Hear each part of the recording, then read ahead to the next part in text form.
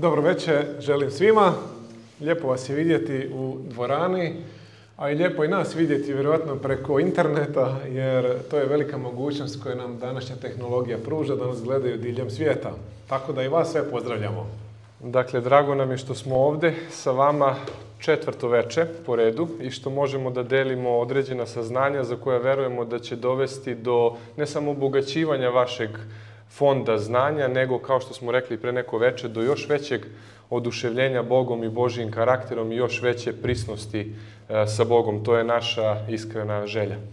I prije nego što krenemo, znate da smo se jučer zahvalili svim volonterima, a danas ćemo iskoristiti ovo večer da se posebno jednoj osobi zahvalimo za njegov angažman. Naime, da bi to bilo snimljeno, da bi to bilo prenošeno. Mi imamo za ovim pultom našeg dragog kolegu Miro, naš DJ Miro.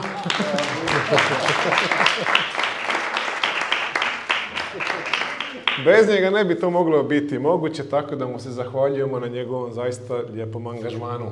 Da, puno nam znači jer e, e, ovo što vama, rekli ste sami, znači i koristi vam, verovatno je osjećanje i mnogih onih koji stoje ili se kriju po znacima navoda iza ovih objektiva kamera i koji nas gledaju ne samo iz Srbije, Hrvatske, Bosne, Crne Gore, Makedonije, nego dobili smo pozdrave iz Nemačke, e, ljudi su nam se jako zahvalili iz Australije da nas gledaju, da nas prate iz Austrije, iz Švajcarske, iz raznih mesta e, iz kojih nas gledaju posredstvom tehnologije. I ja kažem hvala Miri još jedan put i u moje ime, zato što bez njega i njegovog rada i angažmana to ne bi bilo moguće. Već je dobio pljesak, tako da neće dobiti još jedan. e, a mi ćemo sada krenuti na naše proučavanje svetog Božjeg, svete Božje riječi. I vjerujem da ćemo se danas ohrabriti, jer danas nastavljamo u tonu u kojem smo krenuli. A to je jedan serijal, jedna tema koja je zapravo različita tema, tako da naši voditelji su bili u pravu kad su govorili da je različita tema, ali i mi smo bili u pravu jer je zapravo jedna tema. Tema je Danijel drugo poglavlje, i vrijeme u kojem živimo. Tako da ćemo mi danas nastaviti u tom ritmu i moramo se prisjetiti za one koji nisu bili prethodnih večeri, jednostavno da onako nekako to proživamo pa da vidite da, se to sve da je to sve povezano. Dakle, prva tema, mi smo govorili o Babilonu, to smo dobro saželi, cijela Biblija govori o Babilonu, o sili koja se uvijek protivi Božjem narodu, Božjem planu i samom Bogu. I vidjeli smo kako, koliko god se Babilon trudio, on je uvijek pao. On je uvijek prošao, a Boži narod je uvijek isplivao iznad. Iznad je isplivao i to je veliko ohrabrenje. To je veliko ohrabrenje za nas koji živimo u trećoj fazi Babilona, o kome govori otkrivenje, o tom velikom Vavilonu koji će biti vrhunac tog otpadništva od Boga. Vidimo to na onom trećem slajdu tamo. Zašto je to važno da napomenemo? Zato što smo mi ljudi koji će se suočiti sa tim Vavilonom. I nama je ohrabrujuće da znamo unapred taj highlights o kome smo pričali prethodno večer, to je da će pasti i taj Vavilon i da je potrebno da budemo verni Bogu, jer samo verni, oni koji su Bogu verni će ostati za uvek. Drugo veče mi smo govorili o tom različitom pristupu situacijama koje su krizne u životu ljudi. Kada se Bog otkrio caru na Vuhodonosoru, on nije znao šta je taj san u stvari predstavljao, šta je značio i donekle šta je do kraja sanjao. On je tražio svoje savjetnike da mu otkriju šta je sanjao i kako su se oni ponašali. Kao ljudi bez Boga, ja umem da kažem kao pravi svemirski beskućnici koji nemaju oca na nebu i koji se sami snalaze, sami manipuliraju sa raznim stvarima. I dokle ih je to dovelo do one rečenice, nema tog čoveka koji može da otkrije caru to. Mogu to bogovi, ali oni nisu takvi da opšte sa svojim bićima. I imamo sa druge strane Danila koji u toj kriznoj situaciji kaže idem se ja pomoliti Bogu, idem se ja obratiti mome Bogu i uzdajući se u njegovu milost tražiti od njega odgovor. I mi znamo Vidjeli smo to na onom trećem slajdu tamo koji sažima tu misao, Bog se rado otkriva ljudima u snu, kroz proučavanje Biblije, kroz našu savest, kroz život gospoda Isusa Hrista. Sve to su načini otkrivenja Božjega. Zašto nam se otkriva? S jednim ciljem, da nas od tame obrati ka svetlu, od smrti, od cena smrtnog ka životu i da nas dovede u zajedništvo sa njim da bismo zauvek s njime ostali. Verni se oslanjaju na milost i Bog rado takvima otkriva svoje tajne. To je bio siže drugog poglavlja. I upravo zato što je Daniel bio sposoban svojom čistoćom srca primiti nebeske tajne i vizije, razjašnjenja, on je bio mogućnosti otkriti kralju ono što drugi nitko nije to mogao. I mi smo zato prošlo večer obradili upravo ovaj kip kojeg je Nabuhodonozor sanjao, a Daniel ga je objasnio i na naše, vjerujem, iznenađenje, ali iznad svega i ohrabrenje. Biblija nam pokazuje apsolutnu budućnost od 605. prije Krista pa do kraja svijeta predskazana je ovim kipom, mi smo to jučer proučavali, možete to pogledati naknadno, oni koji možda nisu, a imaju želju. Tako da smo mi vidjeli da se nalazimo ovdje dolje u podijeljenom kraljestvu koji se nikad neće objediniti, a vidite političari stalno pokušavaju to sjediniti, ali Biblija kaže nikad se to neće dogoditi, nego dolazi sljedeće kraljevstvo koje će biti Božje kraljevstvo. To je ono što je pred nama i to je zapravo velika nada svih kršćana. I svi se mole u oče naš, dođe kraljestvo tvoje, da dođe kraljestvo tvoje. To je kraljestvo koje treba doći. Tako da tome se mi radujemo i to iščekujemo jer Isus je rekao ja ću doći, vratit ću se da i vi budete gdje sam ja. To kameno kraljevstvo je predstavljeno onim kamenom koji će ne ljudskom rukom nego božanskom otkinuti se, odnosno gađati pravo u stopalu u vreme tih careva i kaže biblijski tekst jasno, to, to kameno carstvo će postati široko na celoj zemlji bez konkurentnog carstva. Samo će stajati za uvek i u njemu će biti oni koji su mu bili verni, koji su očekivali to kraljevstvo. I kao što smo rekli u ovom trećem predavanju, Hristos, Gospod Isus Hristos je taj kamen, taj temelj svačijeg života, odnosno života svih onih koji se u njega uzdaju, koji se nazivaju vernima i on će ostati za uvek i svi oni koji se u njega uzdaju. I mi prelazimo prirodno na današnje predavanje. Mi sad želimo razlučiti kakva je ta, dobrodošli, kakva je ta priroda tog, te pobede o kojoj Sveto pismo govori. Ti verni, ko su oni? Kakve su karakteristike tih vernih? Možda ćemo se zapitati kako ja da budem u toj grupi. Kako, zanima odgovor na to pitanje. Kako ja da budem među tim vernima koji će biti priznati u tom carstvu koje će ostati za uvek? O tome ćemo danas razmišljati i razmišljat ćemo kakva je to pobeda u pitanju na koju smo mi kao hrišćani pozvani od samog gospoda Isusa Hrista koji je već pobedio. I ova naslovna slika je puna simbolike i vidjet ćete u njoj da zapravo imate stari svijet, imate novi obnovljeni svijet, imate vatru koja tu prijeti. I nekako kako sam se pripremao za ovo predavanje, naletio sam na jedan događaj, a pazite, ja događaj s mačkama ne preskačem. Ja jako volim mačke, volim ja i pse, ali mačke su mi ovoga, prve na listi kućnih ljubimaca. I zato sam izabrao ovu sliku iz 1996. godine, zato je tako malo lošija rezolucija slika, je evo lošija, ali je zato slika jako topla. Topla je zato što ćete vidjeti da na slici ovo je zapravo nije zbog rezolucije, nego je to zaista zbog toga što je mačka doživjela nešto specifično. Šta se desilo?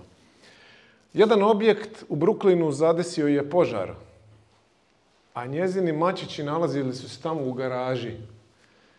I zamislite, ona je pet puta išla u vatru po svakog svog mačića.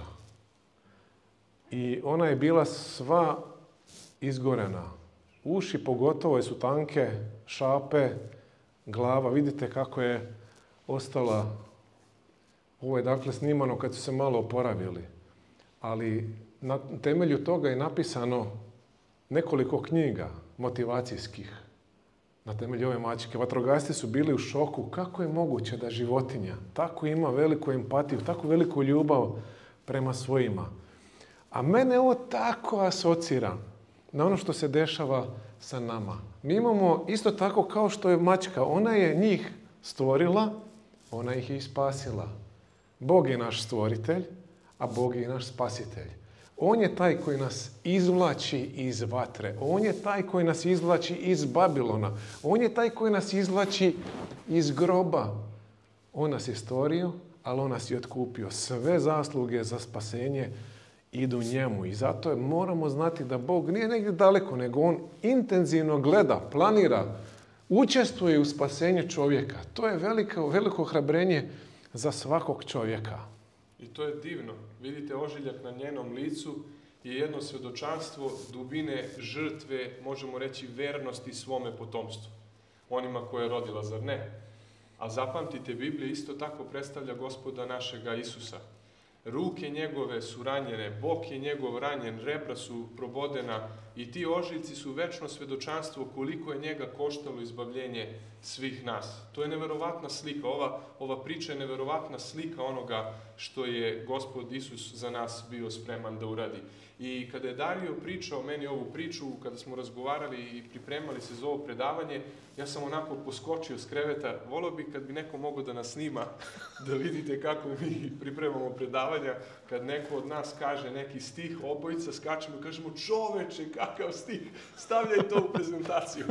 Mi smo sami oduševljeni Božjom ljubavlju i Božjom dobrotom i kada je on pričao o ovoj mački, ja sam rekao čoveče, pa to je isto ono što se desilo, što nam je otkriveno u knjizi proroka Zaharije.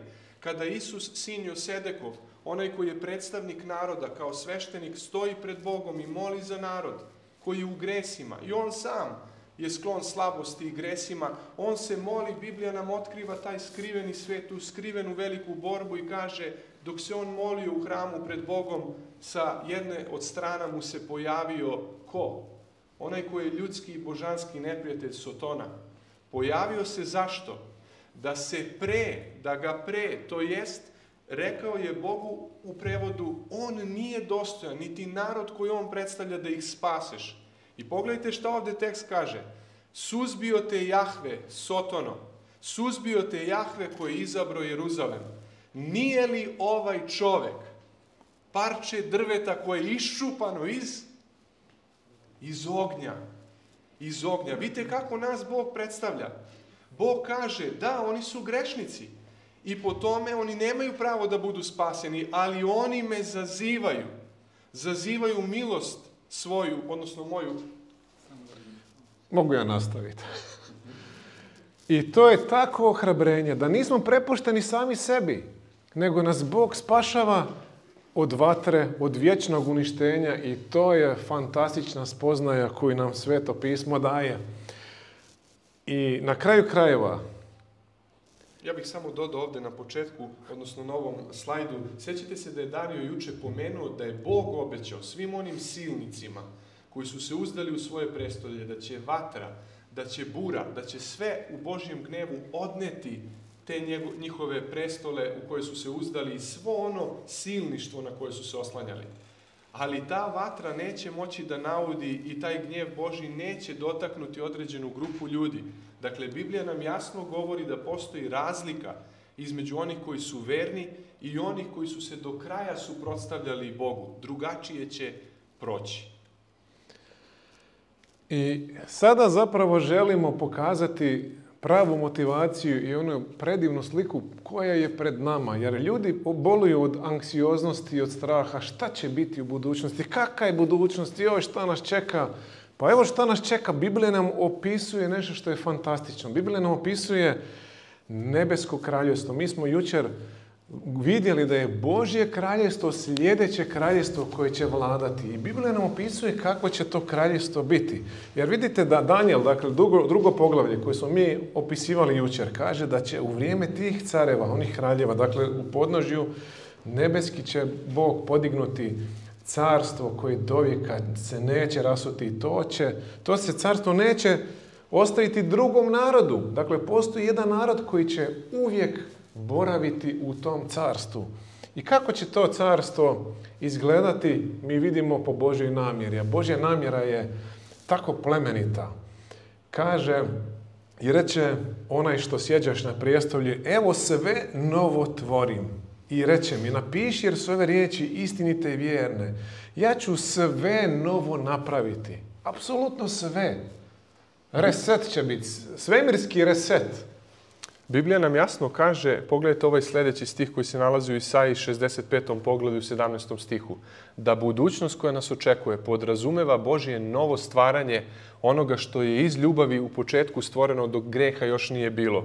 Šta je stvoreno? I reče Bog, neka bude, znate ono, bilo je sve dobro, dobro veoma, ljubav, sve stvoreno iz ljubavi, za ljubav, ljudi po Božjem obličju, priroda koja je bila ispunjena znacima dobrote Božje i ljubavi Božje, ali greh je to sve uništio. Smrt se pojavila, stradanja su se pojavila, zlo se pojavilo, patnja, destrukcija u prirodi. I to nikada nije bila Božja namera. I šta Bog želi sa spasenjem ljudi da uradi? Želi na kraju sve da obnovi. Nas očekuje novo nebo i nova zemlja. Ono što je prije bilo neće se spominjati, niti će na um dolaziti. Vidite, iako ćemo mi proći kroz jedan težak period, period možda teških vremena kakvih nikad nisu bili. Ne treba da se oslanjamo i usmeravamo isključivo na negativno. Treba da gledamo ono pozitivno. A pozitivno je to da nas čeka raj. Čeka nas kada se Hristos bude ponovo vratio i kada bude obnovio nebo i zemlju. Čeka nas ono što je od početka trebala da bude uh, atmosfera koja okružuje ljude koji su stvoreni po Božjem obliču. Zato je evanđelje radosna vest. Zato je drugi Hristov dolazak radosna vest i mi s radošću trebamo da uzvikujemo sa svima vernima koji traže Boga, koji žude za njim. Dođi, Gospode Isuse Hriste, dođi.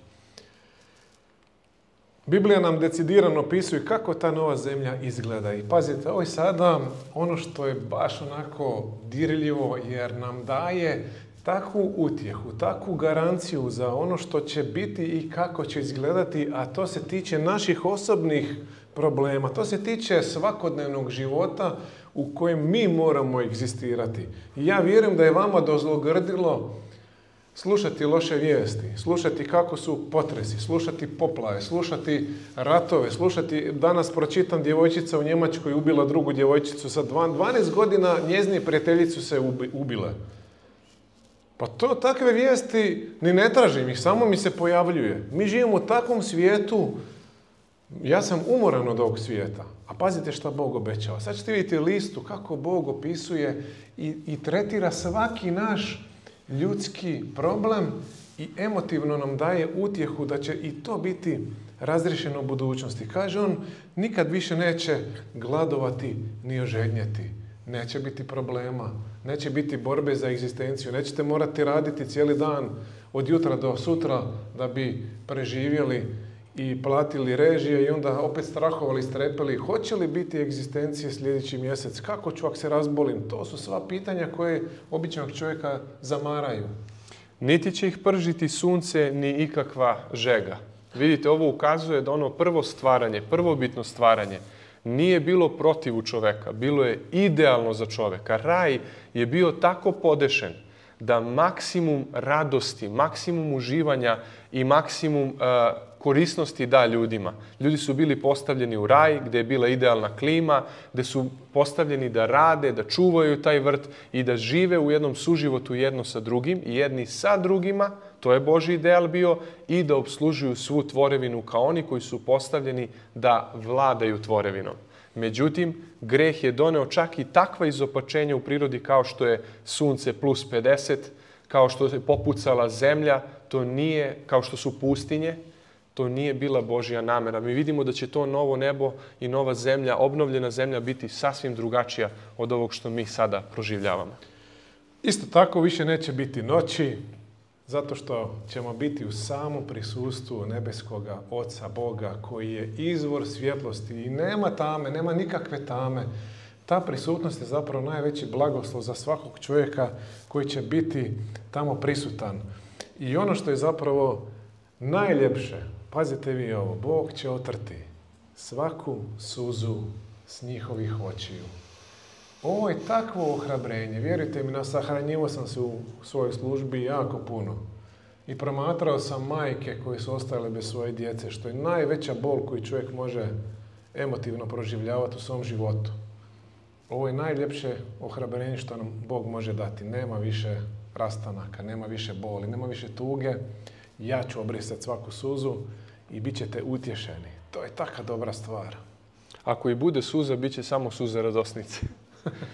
Ali zašto neće biti suza u ovom smislu u kom je Dario rekao? Zato što neće biti smrti. Kaže ovde u otkrivenju 21.4 tekst, neće biti jada, neće biti jauka, ni bola više neće biti jer je prošlo ono što je bilo prije. Koliko je jada da ne idemo po čitavom svetu, da uzmemo samo naš jadni Balkan, naše narode na Balkanu, koliko jada smo jedni drugima zadali kroz istoriju ili neki neprijatelji koji su dolazili na ovo tlo. Toliko je jada, toliko je zla, da bukvalno zemlja umorna od te krvi koja je prolivena, a i mi smo umorni od patnje, od jada, od ubistava, od smrti, od svog zla koje nas muči i koje probada naše srce bolom.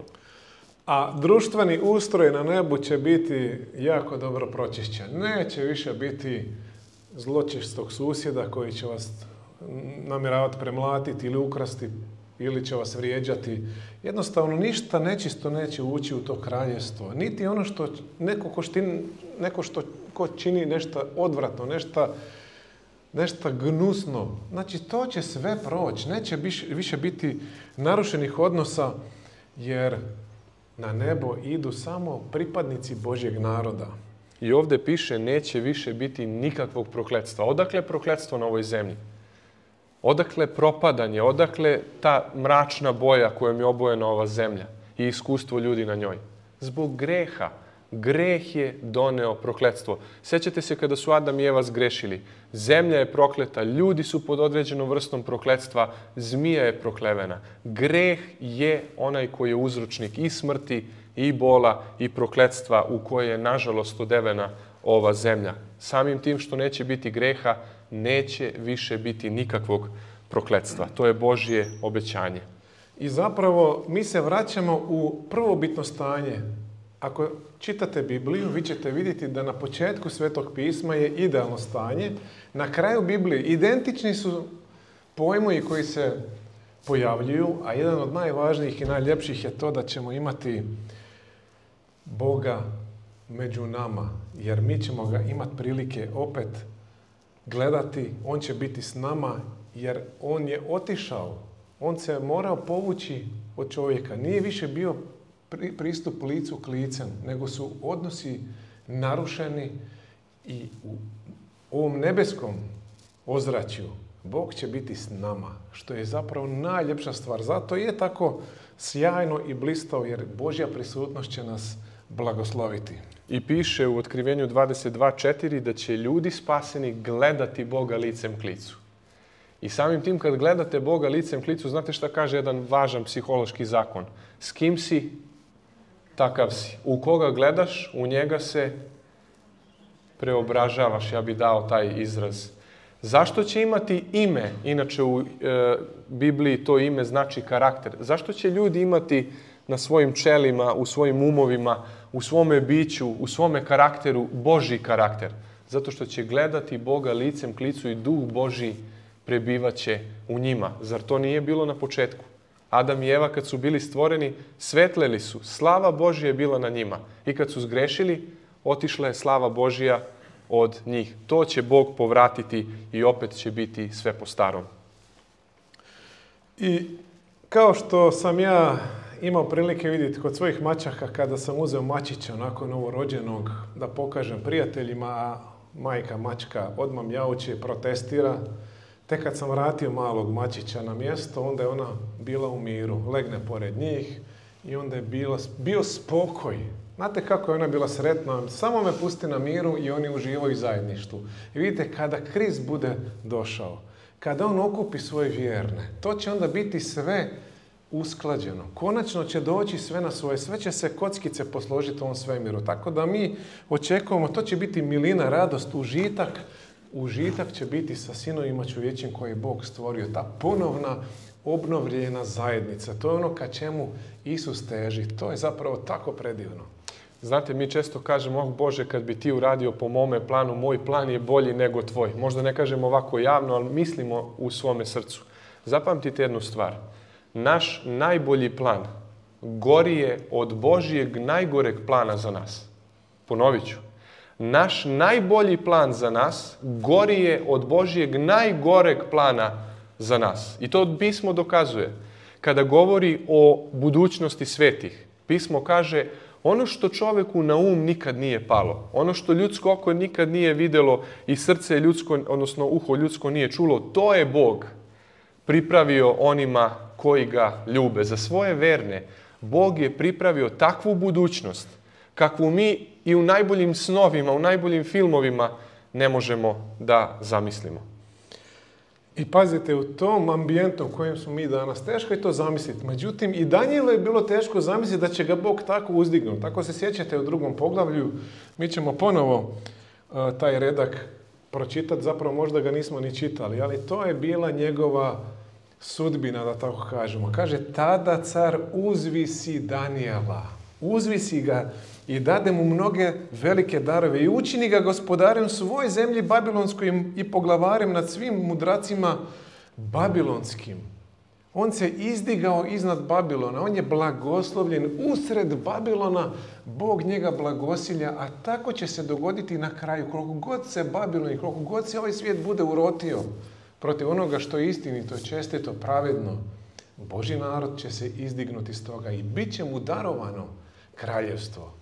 To je neverovatno obećanje, zato treba da gledamo na ovo Božje obećanje, a ne možda na trenutne okolnosti. Jer to što se Danilu desilo, da je usred Vavilona bio uzdignut iznad onih koji su bili, da kažemo, vračari, gatari i ostali, E, to je u stvari jedna slika. Ono što se njemu fizički desilo, samo u slici predstavlja ono što će se desiti vernima koji će naslediti zemlju, koji će biti uzvišeni iznad onih koji su ih proganjali, mučili, nazivali svakakvim imenima, e, hulili na njih imena Božje gradi, kako sam gospod Isus Hristos kaže. I to u Danilu u sedmom poglavlju, kada su sva ova carstva kipom predstavljena u drugom poglavlju, sada u sedmom poglavlju su na jedan malo drugačiji način predstavljeni, sa životinjama koje se smenjuju, koje označavaju carstva i vi kad vidite kako se tamo u sedmom poglavlju smenjuju carstva, jedna zanimljiva rečenica nam daje hrabrost i nadu svim pokolenjima hrišćana. U svim tim periodima narod Boži je proživljavao patnju, ali onda rečenica kaže carstvo i vlast i veličanstvo carsko pod svim nebom na kraju daće se narodu svetaca Višnjega. Njegovo će carstvo biti večno carstvo. Vidite ponavljanje iste priče iz drugog poglavlja Danila. I sve će vlasti njemu služiti i slušati ga. To je neverovatno lepo obećanje. Bog kaže, moj narod je pobednički narod pobeda pripada mome narodu bez obzira kako vama trenutno u ovoj fazi zemaljske istorije okolnosti izgledaju. E sada krećemo u taj Boži narod. I vjerovali ili ne, sad ćemo okrenuti malo priču sa nečim što sam doživio osobno, da ilustriramo ono što će se dogoditi. Vjerovali ili ne, ja već imam 40 godina i nešto sitno. I kada sam slavio 40. rođendan, odlučio sam, pa neću ja to sad s prijateljima i to, nego odlučio sam se obitelji, pošto dugo nismo bili zajedno. Mislim da je to prikladno, ipak i nekako okrugla brojka, pa nekako 40. Htio sam baš u okrilju svoje obitelji e, proslaviti rođendan. I onda što se desilo? Moj rođendan je 10.8. u slučaju da mi želite čestitati ili poslati koji poklon. Kako reče 10.8. 10.8. da zapišite, sad ćemo imati. Ne mogu ti dati poklon moje ženi 13.8. pa moram da skupljam novac za to. e, 10.8. A s obzirom da živim u Zagorju, Hrvatsko Zagorje, iza Zagreba i to, to je ljeto, ja sam smatrao, pošto je ljeto, restoran će biti prazan. Zašto bi u kopnenom dijelu? Na moru su puni restorani, tamo su puni. Šta ću ja sad tu rezervirati? I mi dolazimo, nas 90, koliko nas je bilo, mi dolazimo kad konobar kaže gospodine, a jeste se vi rezervirali? Jeste napravili rezervaciju? Zašto? Pa vidite, ja gledam ono puno sve. Svi stolovi puni. A meni rođendan. A sramote. A ništa, s obzirom da mi je bio rođendan, pa malo, znate, konobara tretirate kako treba. Mi smo pričekali i pustio nas je na divno čudo i uspjeli smo družiti se, uspjeli smo večerat. I sad, kakve to veze ima sa predavanjem? Ima jako velike veze. Jer ako želite ići na nebo, morate se upisati, rezervirati Jer kad kriz bude došao, kad dođe taj trenutak, mnogi će se iznenaditi. I mnogi misle kad dođe Isus, e, onda ću se ja opredijeliti, hoću li ovdje, hoću li tamo. Ne, ne, ne, kaže sveto pismo, kad ja dođem, ja već donosim plaću. Nema onda, nema konobara koji će ti podilaziti. Sad je naš Bog koji nam kaže, sad se ti odluči, sad se rezervira, ja te motiviram, odluči se za mene. I zato je jako važno biti upisan u knjigu Božju. Nama otkrivenje kaže sljedeće. Kaže nam i neće ući ništa nečisto i koji čini što je gad i laž, nego samo oni koji su zapisani u knjizi života.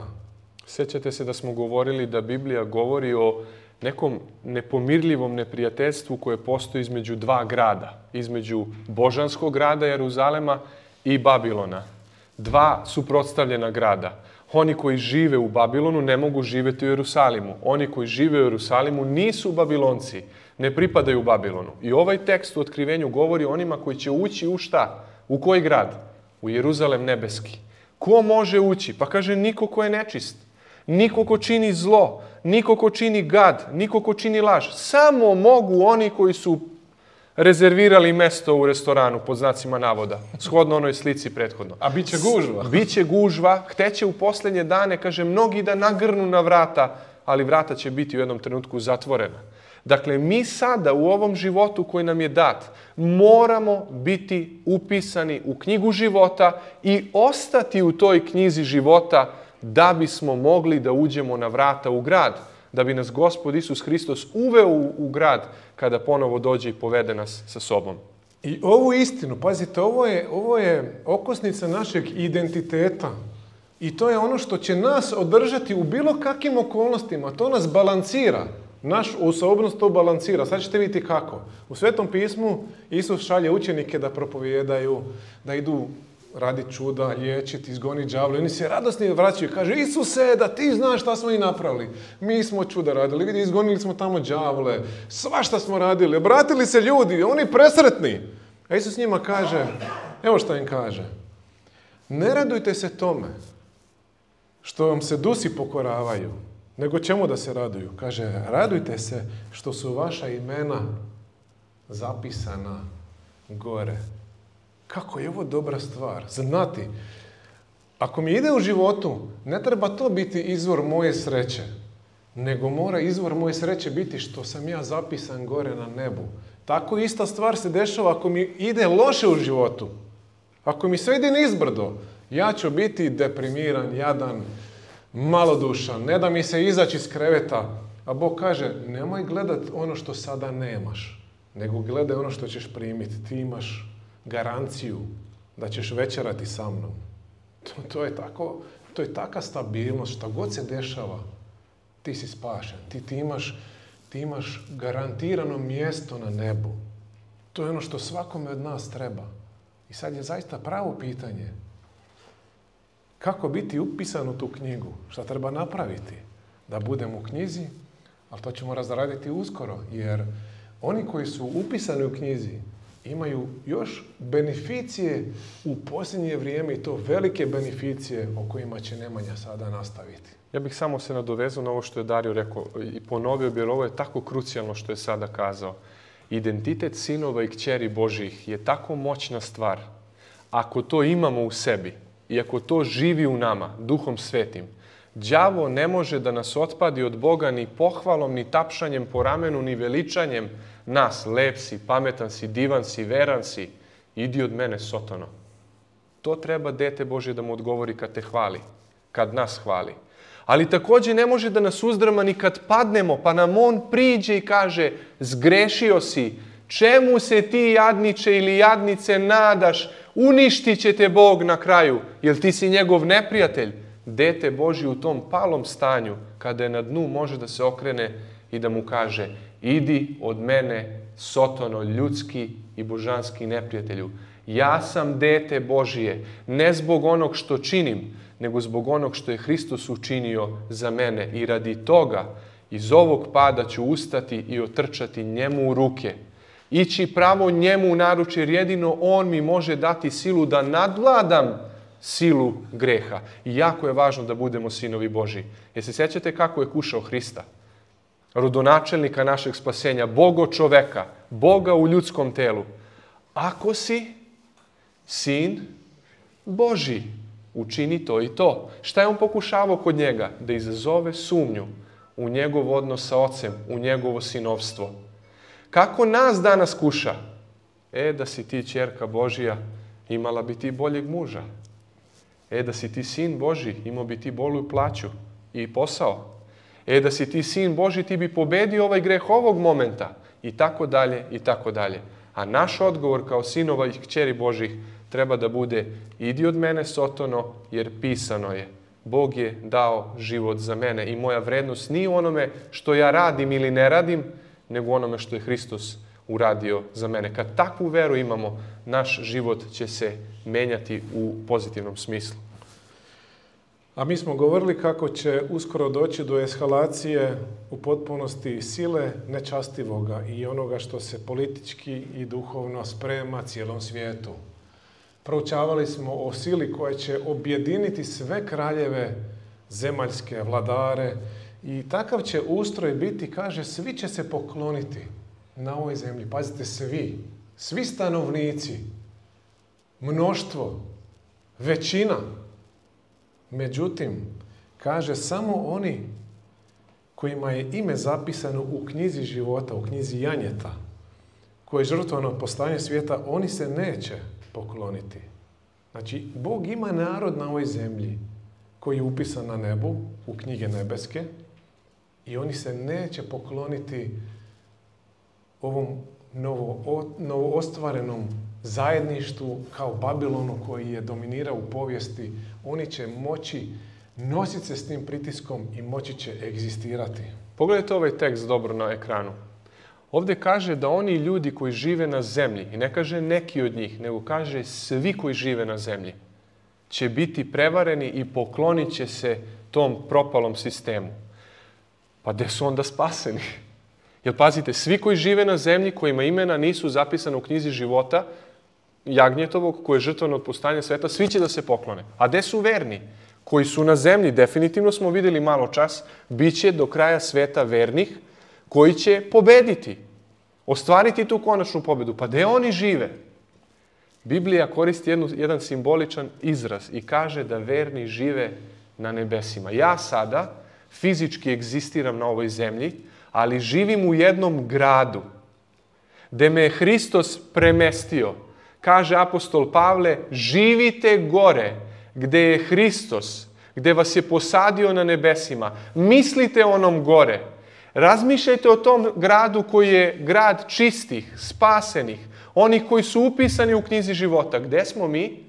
Ja jesam fizički ovde, ali ako verujem ono što mi je Bog otkrio, ja sam i u knjizi života. Gde se nalazi ta matična knjiga?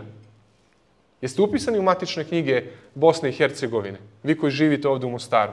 Ili u matične knjige Hrvatske ako ste tamo rođeni. Ili u matične knjige Srbije. Ili neke druge zemlje. Ja jesam. Evo imam ličnu kartu, tu mi je negde.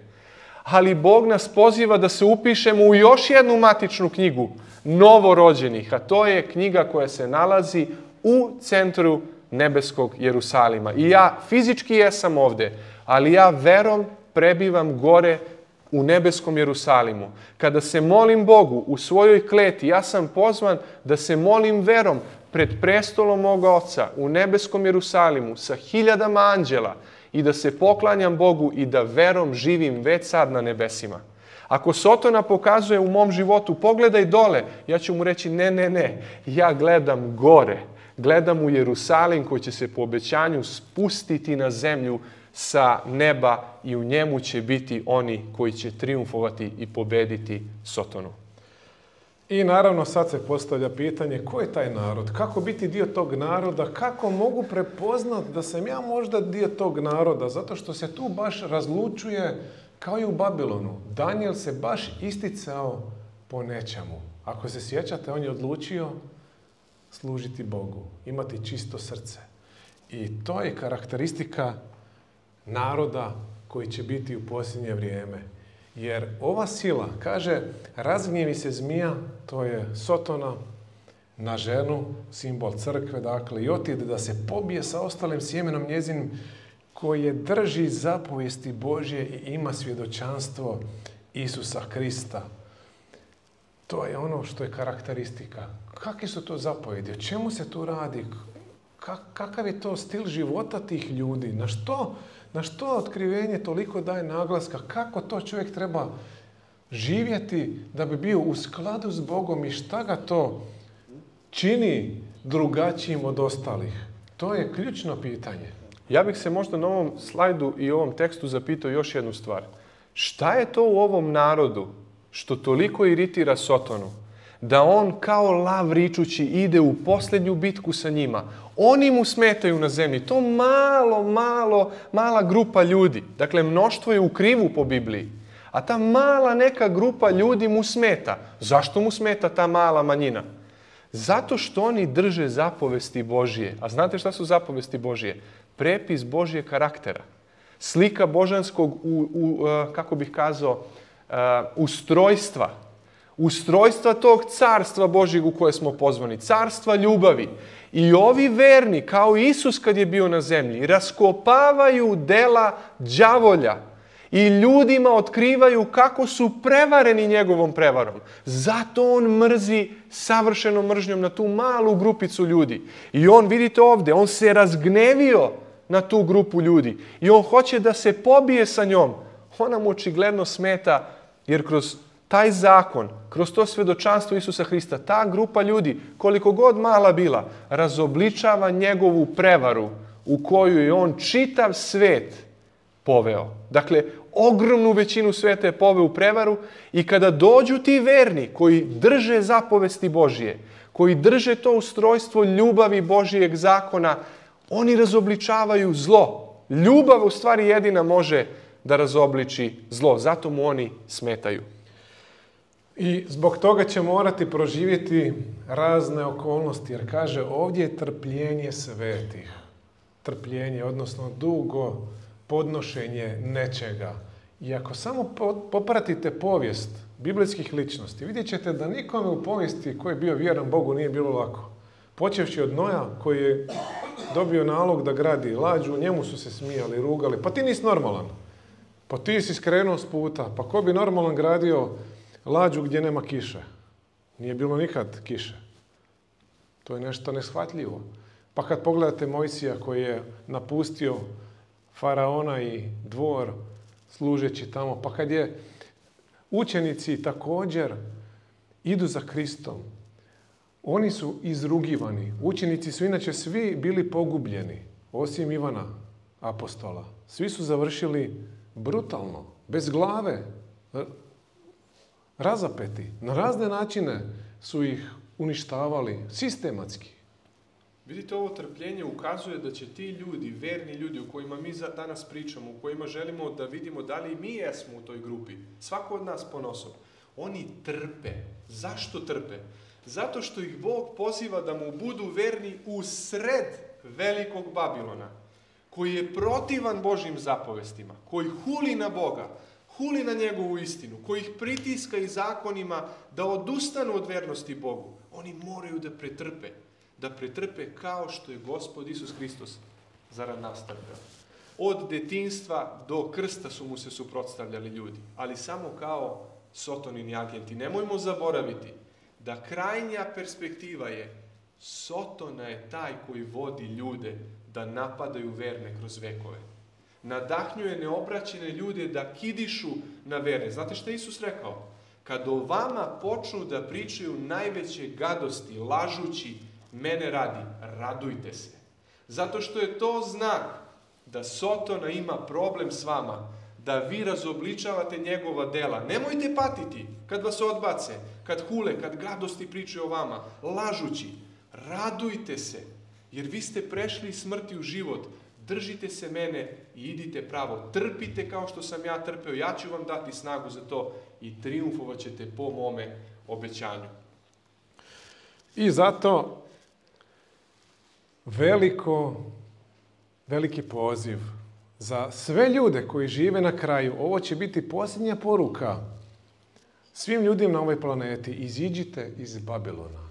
Iziđite iz tog sistema, iz lažnog sistema. Nemojte se klanjati onome što je protiv Boga. To je tako snažna poruka. Jer naroda Božjega ima suda. To ne znači izaći iz nekog fizičkog. Ovo je duhovni Babilon. A duhovni Babilon se protivi. Naše srce se protivi Bogu. I trebamo izaći iz tog lažnog sistema obožavanja i prihvatiti Boga. A to nije lako.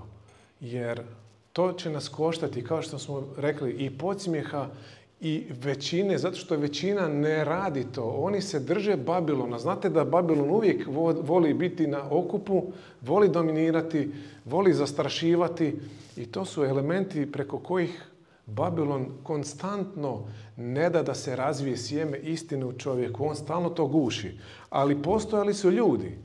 Postojali su ljudi koji su izašli iz Babilona. Sjećate se da je iz Babilona, iz Ura Kaldejskog, Abraham izašao. I to je ta slika ekkaleo, biti pozvan iz, iz Babilona. Mnošto ljudi je pozvano. Apostoli ostavljaju lađe, kreću za Kristom. Pavle ide za Damaska, Bog mu se obraća, vidi svjetlost i onda kreće za Jeruzalem. Vidite da je Bog usmjerio njegov put ka Jeruzalemu i to je zapravo destinacija na koju nas Bog hoće usmjeriti, da idemo ka Jeruzalemu. To je destinacija koju Bog želi da svako od nas u našem životu prihvati, da, da napravi nešto što je iracionalno, da, na, da napusti svakidašnji način života, zato što takav život ne vodi u konačnici na nebo, zato što smo mi stimulirani da živimo tjelesno, a ne duhovno. I mi ćemo to obrađivati uskoro. Vidite, Babilon pogoduje našoj ljudskoj i grešnoj prirodi zato što nam on daje lažnu i zopačenu verziju Božje religije koja odgovara našem srcu, koja nas dovodi samo u formalizam. Formalno smo religiozni, a srce nam je potpuno nedotaknuto. I mi u tom konceptu, znate kako razmišljamo? Koja je crkva prava? Koja je denominacija? Hrišćanstvo je definitivno prava religija, ali koja je crkva prava? Evo je ova, idem tamo da se spasim. Znate šta Bog kaže? Od toga nema ništa. Postoji prava crkva i vi možete ići u nju, ali ako vi niste pravi, ništa vam ne vredi. Jedna žena se srela sa gospodom Isusom Hristom na Jakovljevom studencu i razgovara sa njim i on joj otkriva istine o njoj i u jednom trenutku ona onako dotaknuta, vidi da je neko čudan preko puta nje, da zna tajne njenog srca, ona kreće religiozno da se raspravlja sa njim, ko što mi jedni s drugima možemo da krenemo da se raspravljamo kad govorimo o suštini religije. Odmah se hvatamo za našu sigurnost. A koja je naša ljudska sigurnost? Formalizam. Ja pripadam ovde, ovde ide i taj, ovde ide i onaj, a to, to ne vredi ništa. Gledajte šta njoj Isus kaže. Ona pita gde se treba moliti? Da li da se molimo u hramu u Jerusalimu ili da se molimo na ovom brdu u hramu koji su naši praoci napravili. A to vam je u stvari bio narod Samarijana koji su bili nekim delom jevreji, ali izmešani sa neprijateljskim jevrejskim narodom, sa Asircima. I ona pita gde u koju crkvu da idem da se molim da me Bog čuje? Kojoj organizaciji da pristupim? U koji hram da uđem da bi me Bog čuo? Gledajte šta Isus njoj kaže. Ali dolazi čas ženo i već je tu kada će se pravi klanjaoci klanjati ocu u duhu i u istini, jer takve klanjaoce traži otac. Vidite, vidjet ćemo sutra, u sutrašnjem predavanju, da Babilon traži da mu se poklonimo, da ga obožavamo, da mu služimo, da njega priznamo za vrhovni autoritet. A Bog kaže, samo se meni treba pokloniti. Apostoli su dolazili i ljude nisu pozivali da pristupe ovoj crkvi ili onoj crkvi da idu u ovaj ili onaj hram, nego su im rekli, premestite se iz carstva tame u carstvo ljubavi Sina Božjega. Idite od tame, od neposlušnosti Božjem zakonu, od protivljenja Bogu, u vernost Bogu. U duhu svetome da budete verni, da budete pokorni duhu svetome, jer na kraju krajeva znate ko su sinovi Božji? Ne, I čeri. Ne oni koji imaju člansku kartu ove ili one crkve, nego oni koji se pokoravaju iz sekunda u sekundu kome? Svetom duhu, duhu svetome. Kaže, ovo su sinovi Boži koji se vladaju po duhu svetome. A kako duh sveti vodi nas? Gde nas vodi? Uvek i samo u istinu. On nas vodi u istinu i ono što je zanimljivo, ono što je meni fascinantno, Danilo o kome mi proučavamo je bio nasilno iščupan iz svoga naroda, odveden daleko od Jerusalimskog hrama, odveden od svoje porodice, u sred Vavilona posađen, u sred neprijateljskog paganskog idolopokloničkog naroda. Ali Danilo je ovakav bogomoljac. On kleči u svojoj sobi gdje su mu dali, pretpostavljam od nje je napravio kleti non stop, tri puta na dan. On se moli Bogu, čak se molio Bogu i kad je to zakonom bilo zabranjeno. Vi koji ste čitali znate da Nilu je u jednom trenutku bilo zabranjeno da se ikome moli, osim kralju Dariju. Darij je to na prevaru potpisao. Kad je značilo o životu Danilu da se ne moli, on je rekao, pazite, dovde sam se pokoravao građanskim vlastima, a sada su građanske vlasti zadrle u Božiji zakon. Neću se poklanjati nikome do Bogu. I sjećate se gdje je završio? U Lavovskoj jami. Ne moramo da budemo u crkvi ili u hramu da bi imali odnos sa Bogom. To Isus hoće da kaže. Bog želi da duhom prebiva u našem srcu i gdje god da smo, da se molimo Bogu u istini, jer to je Božja volja. A kako to izgleda kad je čovjek zapravo na, novo rođen? Kako to izgleda kad je čovjek suštinski promijenjen? Jer to je ono što Bog hoće. Ko se na novo ne rodi, neće ući u kraljevstvo Božje. I mnogi misle ja ću odraditi nešto, ja ću se podrediti nečim, ja ću se natirati nečemu i onda ću ja biti, ja sam dio te zajednice, ja sam dio toga. Ne, Bog želi u potpunosti naše srce, naš život transformirati. A to je ono što Bog radi. I kako to izgleda? Evo kako izgleda. Evo jedna slika koja će ilustrirati ovu priču. Ova priča inače u baš u jednoj knjizi koja obrađuje baš novorođenje. Pa priča kaže ovako, s kojom se mi možemo poistovjetiti. Bio jedan vuk koji mu je dozlogrdilo da kolje ovce. I on je rekao jednog dana, bilo je dosta, ja ću sada postati ovca. I on je našao od tamo svojih mušterija bivših koji je pojeo vunu, obuko je to na sebe, odrezao nokte koliko je mogao, prilagodio se izgledu ovce i sišao je dolje među ovce. A ovce, znate, naivne, one nisu baš neku razliku vidjele. One svoje pasu jedu. I sad on među njima. I on gleda šta on, on njih samo ponaša, ponaša i gleda šta radi. I on sada pokušava jesti travu. On se naje od trave, međutim, znate, tamo oko podneva ipak treba nešto konkretno. I sad se on pati nema, ima samo salate, a nema mesa. A meso pred njim slatko, vidi on svoje kolege sad, jel? Narađe bih smazao. On se sad suzdržava i ne može izdržati. On kaže, ja moram pobići gore. I on pobjegne opet u brda i razmišlja si, joj, kako je teško biti ovca. Ali svejedno sljedeći dan opet on odlazi dolje. I ista priča. Pokušao čak i bekat, ali znate kako to ružno zvuči. Znači, ni tomu nije išlo. I dalje je bio gladan i sad s obzirom, da nije jeo dan prije, sad je čak i prije počeo režati. Sad jednostavno sline mu cure, on si ne može on, on, bi htio, on bi htio biti ovca, ali sline mu cure zagrišće nekog. I on opet bježi gore. I onda gore kaže priča, on se obraća Bogu i kaže Bože pa vidi, ja bih htio biti drugačije stvorenje. Daj pomagaj, daj pomagaj. To je izmišljena priča. I zaista Boga mijenja. I on postaje ovca. E sad, ova priča je napisana zbog toga što ljudi pokušavaju promijeniti svoju prirodu svojim nastojanjima. A to ne ide. Ne možeš ti biti dobar kad si zao. I onda pokušavaju na razne načine biti ljubazni, dragi, pomagat, ovoga, jednostavno sebe stavljaju u situaciju da oponašaju druge, odu u crku, ja ću biti kao i oni, odradit ću to, a zapravo reže, onda u crkama zna biti isto tako raznih konflikata, zato što su vukovi, pa onda ne mogu se zasjetiti egoizma svoga, pa stalno traže nešto, to su tako praktične stvari gdje mi vidimo kako vuk u nama dominira, a zapravo Bog hoće da mi budemo janje. Jer Krist je janje. On je promijenjen. On, on zapravo želi to utkati u nas, da mi apsolutno budemo promijenjeni. A to se zove no, novorođenje. To je ono što Bog hoće. Ne promjenu naših ponašanja da bi mi bili drugačiji, nego zato što smo mi drugačiji, se mi drugačije ponašamo. To je ono što Bog želi napraviti. A to je čudo, čudo Božje ljubavi. Svaki čovjek može biti drugačiji. Apsolutno svaki. Ja sam gledao na svoje oči čovjeka koji apsolutno ne je zainteresiran za duhovno. Nakon dvije godine on studira teologiju.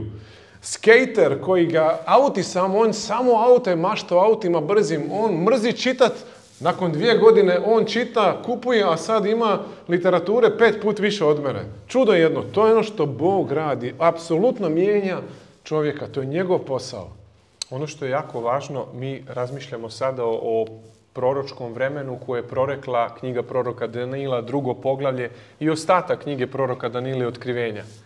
I mi referiramo uvek ove priče na posljednje vreme, jer mi smo ljudi posljednjeg vremena, mi živimo pred sam Hristov dolazak, ali pogledajte ovo, jedna novozavetna knjiga, Drugo, druga knjiga Timotiju, treće poglede od prvog do petog stih. Apostol Pavle nadahnut svetim duhom gleda u ovo naše vreme i kaže Timotiju, starešini koji će ga naslediti u crkvi da vodi brigu o stadu Božijem. I kaže mu Timotije, ovo znaj, da će u posljednjim danima nastati teška vremena. Pogledajte stih. I kaže, ljudi će doista biti srebroljubci, sebični ljudi, ljudi koji vole sebe voleće srebro, bit će e, preuzetnici, bit će oholice, hulitelji. Zamislite, deca će biti, kaže, nepokorna roditeljima. Pre 2000 godina apostol Pavle to vidi, jer mi živimo u tom vremenu.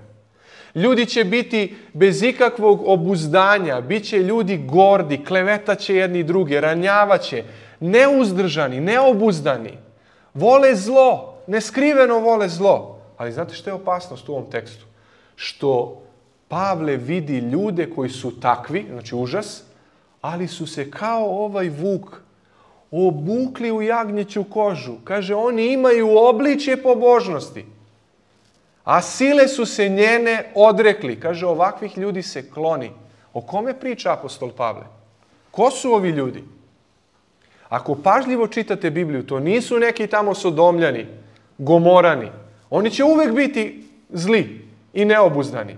Ovo će biti stanje hrišćanstva posljednjeg dana. Mi smo pobožni. Mi imamo obličje jagnjadi, a u stvari nutrina potpuno nepromenjena. Mi glumimo hrišćanstvo. Mi glumimo delovanje Svetog Duha.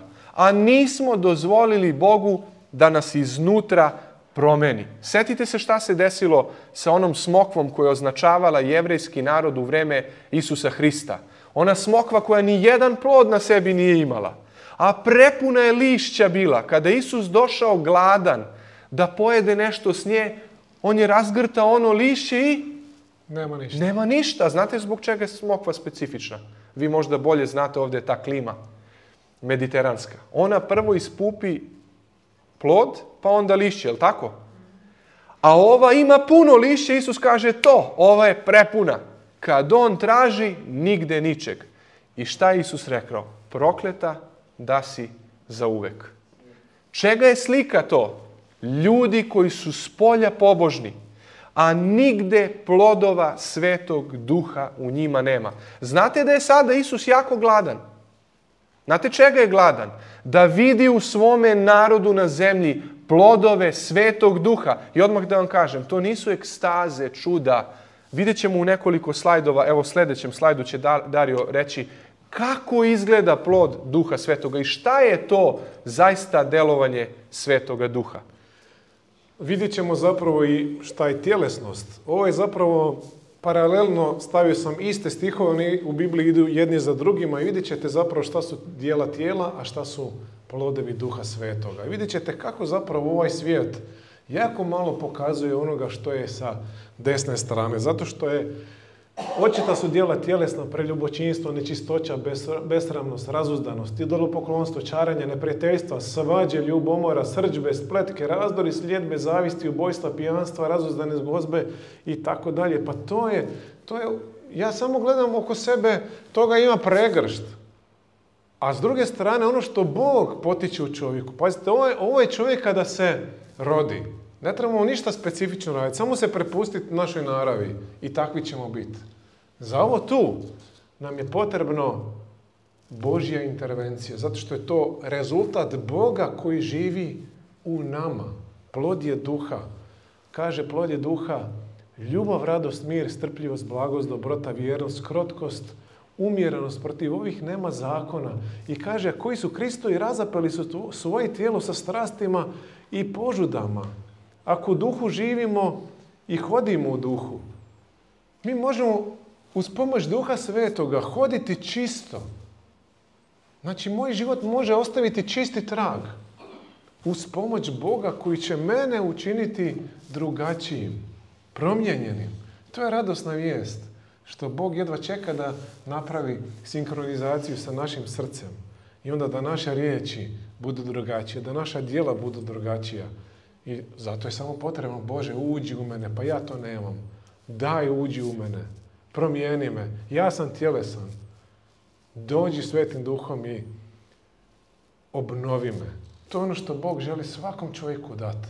A to je prava pobožnost. To znači hoditi u duhu svetome. To znači biti dio Božjeg naroda. Tako izgleda Božji narod. Tako Božji narod izgleda.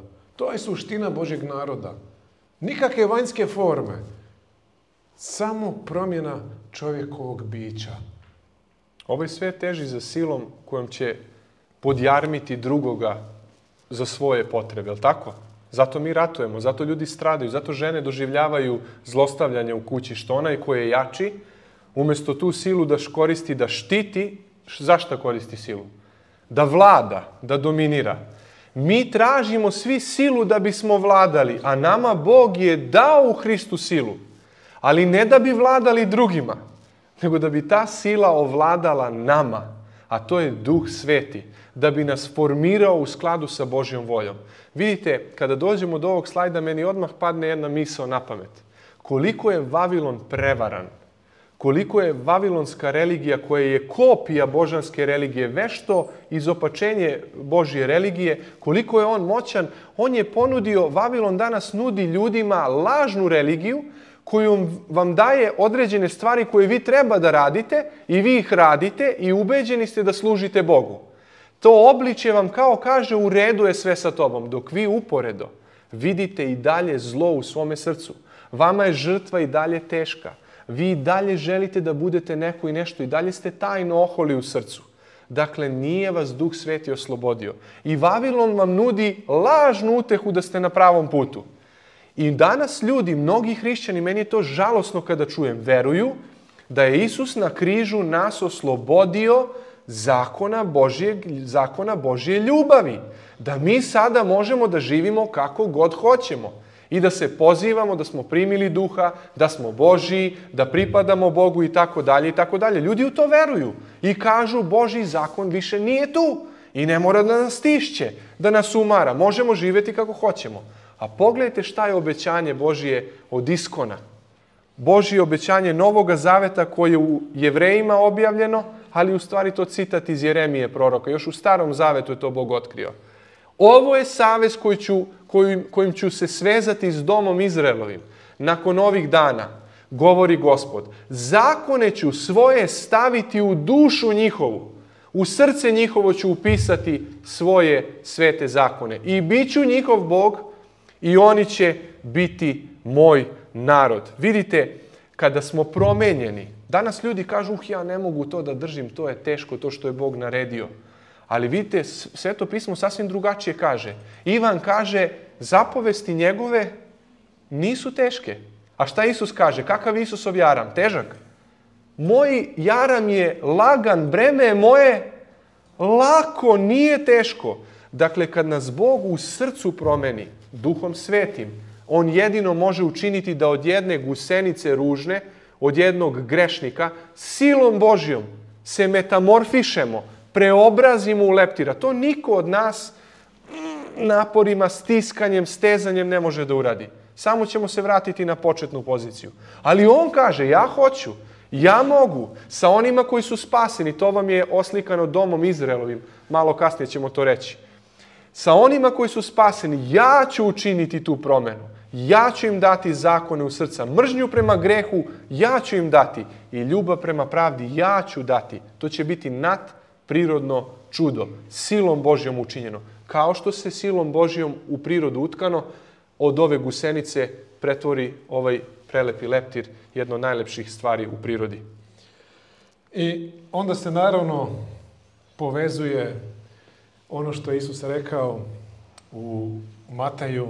Neće svaki koji mi govori gospode, gospode, ući u carstvo nebesko, nego onaj koji čini volju oca mojega koji je na nebesima. Jer će mi mnogi reći onaj dan, gospodine, gospodine, nismo li u tvoje ime prorokovali, nismo li u tvoje ime đavola izgonili, nismo li u ime tvoje čudesa mnoga činili, tada ću im izjaviti, nikad vas nisam poznavao, idite od mene, zlotvori. Zamislite vi koji su to riječi Isusa. Oni se pozivaju, pa mi smo išli u crkvu, mi smo radili čuda. Vidite sad razliku. Boži narod je upisan u knjigu života, ovi nisu upisani u knjigu života, ali isto rade kao oni koji su u knjizi života. Zato što oni to rade izvanjski, samo pro forme da bi zadobili i zapravo napravili kompromis. Ja ću raditi po svome, živit ću po mom tjelesnom kako god hoću. Tu ću odraditi malo, čisto da imam nebo, ali ja se pokoriti Bogu neću. To je jedna ovoga, teorija koja je bila vrlo aktualna u vrijeme apostola Nikolita, dakle Nikolitska teologija koja je u otkrivanju opisana, ja služim Bogu svojim umom, a tijelom služim ovom zemaljskom životu. I ja se pokoravam svim tim tjelesnim zakonima, ponašam se kako hoću, ali ja sam svejedno vjeran. Ali Bog kaže, ne, ne, to tako ne ide. Ja vladam nad cijelim bićem, ja ću pokoriti svo zlo u tebi. I zato mene moraš poznavati, jer ovi očito ne poznaju Krista. Jer on kaže, ja vas ne poznam, nisam ušao u vas, ali mi smo u tvoje ime. Možeš se ti zvati kako god hoćeš i radiš što god hoćeš, ali ako Krist nije u tebi, onda će biti teško. I ima jedna zanimljiva situacija.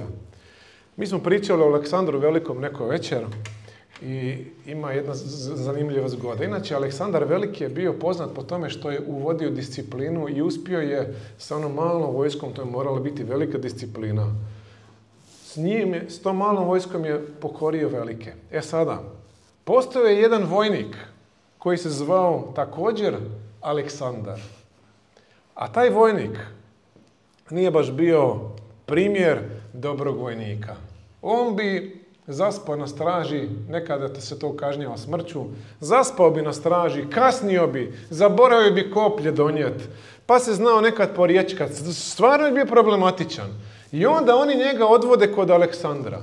I Aleksandar njemu kaže, Aleksandar Veliki, vojniče, ili promijeni ponašanje, ili promijeni ime. Ili promijeni ponašanje, ili promijeni ime. I nama Bog kaže, dragi moji, otvoreno i iskreno nam kaže ili promenite ime kojim se zovete, a to je ime hrišćana, ili promenite ponašanje. U ovom slučaju mi ne možemo da promenimo sami ponašanje, već smo u prethodnim slajdovima videli da Bog taj jedini koji može da promeni naše ponašanje, ali ipak smo odgovorni. I ipak mi smo ti koji mogu da naprave razliku. Bog želi sve ljude da promeni, ali samo će neki biti verni, a neki neverni. Samo će neki biti spaseni, a neki će se nastaviti nazivati zlotvorima. Šta pravi razliku? Razliku pravi taj iskreni vapaj ka Bogu. Prvo, priznanje Bože, ja sam grešnik. Nema mi promene, nema mi šminke, nema mi doterivanja, ako me ti svojom silom ne preobraziš. Jedino tada ću biti tvoj, da od mene vuka silom duha svetoga načiniš novu tvar. Ja te za to molim. Taj vapaj će napraviti razliku. Taj vapaj će proizvesti da od nas koji smo gubitnici, koji smo grešnici u duhovnom smislu, postanemo oni pobednici koji su upisani u knjigu života i koji će u knjizi života i ostati do kraja. Zato nas Bog poziva, kuca na vrata našeg srca i otkrivenju kaže Danas glas moj ako čuješ, otvori mi. Bog neće doveka kucati na vrata našeg srca. Neće nas doveka moliti i vapiti da ostavimo greh, da se odvratimo od svojih idola kojima se klanjamo, svom egu, drugim ljudima. Bog kuca na vrata i moli nas. prihvatite da se vratite meni. Jedino ja mogu da vas oslobodim od sile greha. Jedan muškarac ne može sam svojom silom da se spasi od telesnih želja. Jedan ubica ne može da se spasi sam od svoga gneva koji ga vodi u ubistva.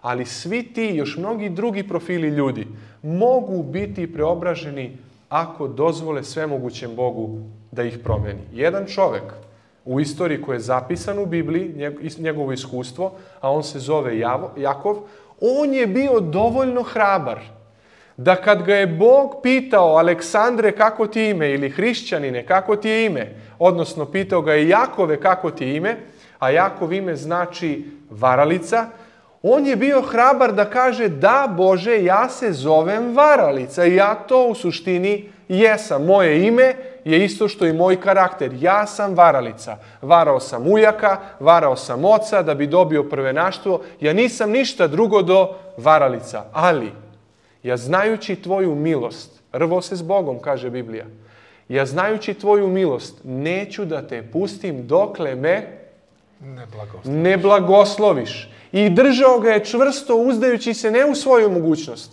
nego u Božju milost. I Boga pita, kako ti ime? Jakov, varalica. E zato što si bio dovoljno hrabar, neće ti više ostati to porazno ime. Dajem ti danas novo ime. Od sad ćeš se zvati Izrael. Znate šta to ime znači? Nije više gubitnik. Sada je pobednik. I nemojte da se iznenadite kad Biblija kaže da će na nebu biti samo Izraeljci i niko drugi. A pritom se ne misli na fizički narod jevreja koji su se zvali i Izraeljci. Tu se misli na nanovo rođene ljude. Ljude koji su priznali da su Jakovi, u rvanju sa Bogom priznali Bogu i zavapili za njegovom silom i bili preobraženi. Ako hoćemo da dođemo na vrata u gradu Jerusalim i da budemo upisani u knjigu života i da u njoj ostanemo, moramo biti dovoljno hrabri da priznamo da smo varalice, da priznamo da smo nemoćni sebe da promenimo i da zavapimo Bogu da nas blagoslovi i da nas promeni. I još je jedan čin neophodan. Evo, izdržat, izdržat ćete još tri slajda. Malo smo možda danas i produžili, ali to nije bitno. Još je jedan čin jako važan za napraviti. Ja vjerujem da vam je poznata uh, biblijska priča u izlasku upravo izraelskog naroda iz Egipta, što je zapravo i preslika Babilona. Bog je uvijek izvlačio svoj narod. I sjećate se da su Izraelci u desetom zlu. Inače, to je bio rad bogova. Bog je isto tako htio pokazati kako je on iznad svih. Oni vjeruju Bog je Nil, daje život, a Bog kaže pa ne, sad će on biti u krvi. I sva ta čuda koji se dešavaju su odgovor kako je sve nemoćno. I u zadnjem čudu koje rade, deseto zlo, sjećate se da je bilo pogubljenje prvorođenaca. I svi su znali jednu važnu poruku. Ko bude stavio krv na dovratnike, tamo neće nitko poginuti. E sad pitanje je sljedeće. Zašto baš dovratnici? Zašto je Bog rekao da baš dovratnike namažu sa krvlju? Ne krov, ne dimnjak, ne prozor, ne ogradu, nego baš dovratnike, ne ni vrata, nego baš dovratnike. Evo, to nam pomaže arheologija. Ono što se dešavalo i kako se radilo u Egiptu, vi znate da se i tamo gradilo sa opekama. I oni su zapravo imali kuće od blata. I tako su živjeli. I kako su živjeli u Egiptu i Izraelci, taj Boži narod je polako poprimao egipatsku kulturu i egipatsko vjerovanje. A Egipćani su vjerovali da čovjek živi zagrobno, i kako bi sebi osigurao vječni život, da vječno živi, jedna od stvari koje čovjek mora napraviti jeste da svoje ime upiše u kamen. Svoje ime da upiše u kamen. Jer ako vaše ime nije u kamenu, vi ne možete imati zagrobni život. I zamislite šta je stvar. Jedina, jedina stvar u kući koju su imali od kamena bili su dovratnici. Samo to kako bi mogli upisati svoje ime. A Bog njima kaže, nećete se vi spasiti zato što ćete vi ugravirati ime u kamen, nego ćete se spasiti zato što će janje biti žrtvovano i kada vi sa krvlju premažete svoje ime, onda ćete biti spašeni. I svi koji su to napravili, i Egipćani i Izraelci. Dakle, nije bitno kom si ti pripadao prije, nego je bitno ko te je premazao sa krvlju. A treba te premazati Isus Krist, jer kad te On premaže, ti automatski ideš u knjigu života. Jer te On spašava svojom krvlju. To je zapravo tako predivno, prekriveni Kristovom krvlju. Ne moram ja zaslugama svojim obezbijediti sebi, omogućiti na ovom svijetu. Mogu, može moje ime biti zapisano u svim povijesnim knjigama. Mogu imati trofeje, mogu biti rekorder u Guinnessovoj knjizi, mogu biti zapisan. Mogu biti zapisan u bilo kom članstvu, bilo koje crkve. Ali ako ja nisam prihvatio Isusa Krista, onda mi to ništa ne vrijedi. Jer ja se samo spašavam krvlju Isusa Krista. To je ono što nam Bog kaže. Tako ti postaješ dijelom Božeg naroda. Prihvaćajući moju žrtvu, prihvaćajući moje zasluge, prihvaćajući ono što ja činim za tebe. Zanimljivo je, Biblija nam otkriva da će Božji narod, taj verni narod koji će konačno triumfovati na kraju, triumfovati na jedan specifičan način. I to dosta govori o velikoj borbi. Biblija kaže u otkrivenju 12.11 ti ljudi koji će pobediti Sotonu i greh, oni će ga pobediti krvlju janjeta i rečju svedočanstva svojega. Čak će toliko verovati u tu krv, da kada im se bude pretilo da odustanu od toga da veruju da je krv jagnjetova dovoljna za spasenje, oni će biti spremni život svoj da žrtvuju, da ne prekrše svoj zavet koji su na krvi jagnjetovoj učinili sa Bogom. Neće neće pristati da izdaju Boži sveti zakon čak i kad im zakonski to budu nametali. Biće spremni pre da polože svoj život nego da se ogluše o Božju volju. Sećate se Danila? Danilo je bio spreman da pogine u lavovskoj jami samo da ne prekrši Božju volju. Ona tri momka, pominjat ćemo ih sutra, su bili spremni da budu bačeni u E, ognjenu peć, samo da se ne poklone nikome drugome, nikakvom kipu koje je Navuhodonosor napravio, nikakvim vavilonskim bogovima, osim jedinome živome Bogu, kao što je to Boži narod u sve vekove činio. nisu hteli to. Kaže on, sad ću vas baciti u jamu, odnosno u vatru. Oni su rekli, nema problema. I ako umremo, mi ostajemo jednom Bogu verni. Znate što je ovo? Ovo, ovo je za mene neverovatno. Pazite sad ovo. Zamislite s ove desne strane jedan scenario. Sotona u idealnom svetu, na nebu, gdje nema ni traga greha, je rešio da okrene leđa Bogu i da čini zlo. Nikakvog povoda sa strane nije imalo. Šta je omogućilo to? To što je Bog sva bića stvorio sa slobodom izbora. Dakle, mi smo slobodni u toj meri da nikakva okolnost ne može da nas pritisne ako mi to ne dozvolimo. Znači ovo je idealni svet i čovjek, odnosno stvorenje, izabralo zlo. U kakvom ćemo mi svetu da živimo u ovom posljednjem Vavilonu? Vreme kakvo, kakvog nikad nije bilo. Vreme kad će Vavilon da pritisne našu vernost i da nas izazove, da nam zapreti smrću da odustanemo od vernosti Bogu.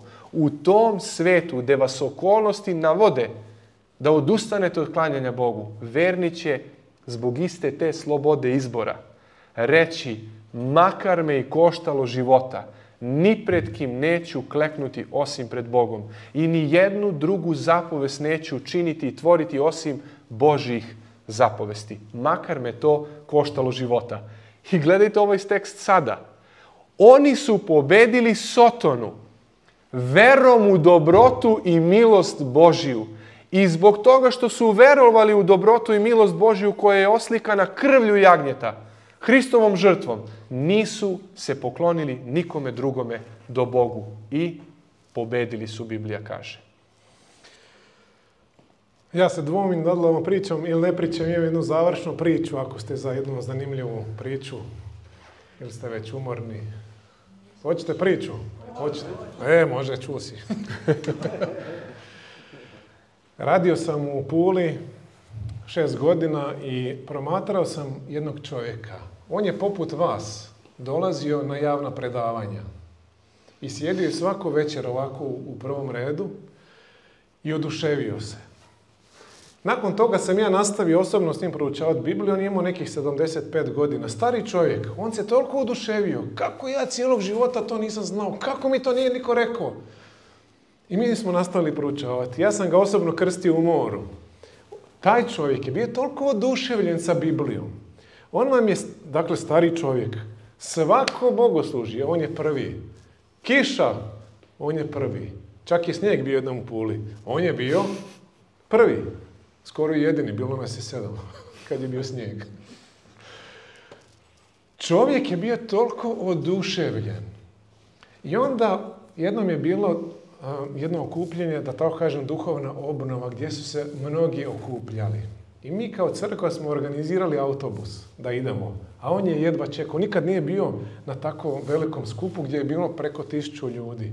I on kaže, joj, kako bi ja volio ići tamo, joj, kako bi ja. Da vidite to oduševljenje starog čovjeka. Ja, mene je on hranio svojim oduševljenjem. I kažemo, krećemo. Ja se sad točno ne sjećam, mislim da je oko šest smo kretali. ja sam bio vođa puta. A ja sam najgori vođa puta što može biti.